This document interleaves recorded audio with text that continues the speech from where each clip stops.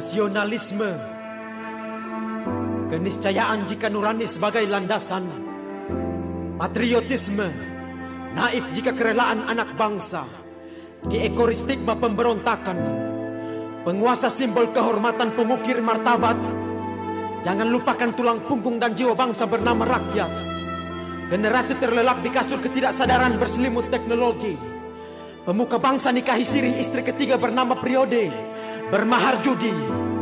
Perahu pertiwi akan terbalik jika hanya satu cadik di barat Tanpa timur sebagai penahan. Patah tiang layar hendak dilapisi tongkat bernama agama Agar kokoh tanpa guncangan.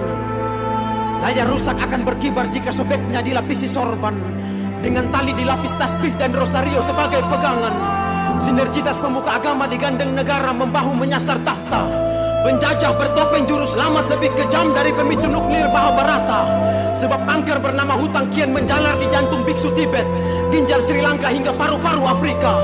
Kemerdekaan Indonesia berangkat dari perjuangan berbasis peperangan. Namun perjuangan bukan hanya tentang peperangan.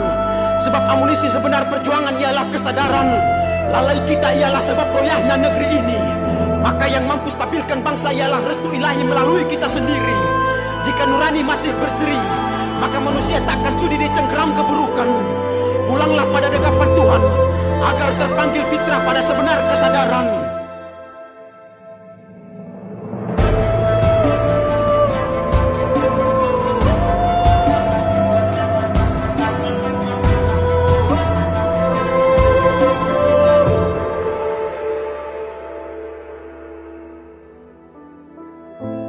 Menjadi bebas di jalan syariat adalah merdeka yang sejati. Kepada hati beta rakyat Indonesia rindu senyuman Ibu Pertiwi. Senyuman guru honor yang setia menukar ilmu demi cita-cita anak negeri. Demi keluarganya dan si buah hati yang menanti-nanti kepulangan sang ibunda. Kisah di negeri ini terlalu sakit lebih dari sinema Korea. Lebih sadis dari kasus korupsi oknum PT Duta Palma.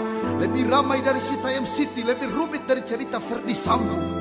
Bangsat. Sebagian rakyat jadi pengikut demi isi perut. Rela jadi padu. Mengerikan rakyat melarat Papua sudah lama teriak. Aceh masih bergejolak. Maluku Utara terus bergerak. Menanti hak istimewa media mata dan telinga pejabat seragam coklat pemilik judi slot 303 Membunuh lalu libatkan puluhan bawahannya. Mencederai lembaga sudah lama kasus demi kasus. Kita dengar dari barisan keamanan. Keadilan kesejahteraan bagi seluruh rakyat Indonesia. Jaminan kesehatan pendidikan akan terwujud dibawa oleh kesadaran. Sadar bahwa menjadi manusia adalah memanusiakan manusia. Indonesia Raya jayalah negeriku tanah tumpah darah Belajar dari Malaysia memegang teguh adab tetua Patuh pada budaya mereka cinta hakikat paling tua. Tapi pulanglah pada timur atas jasa sumber dayanya. Memalukan menyatukan Nusantara adalah mimpi kita semua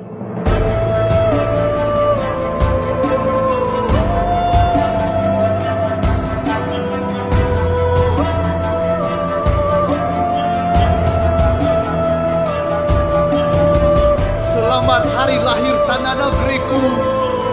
Maaf atas segala lemah dan tak berdaya. Maaf atas segala buruk sangka di dunia maya Indonesia. Kami cinta tanpa tanda tanya. 17 Agustus 2022 Jengwantir De facto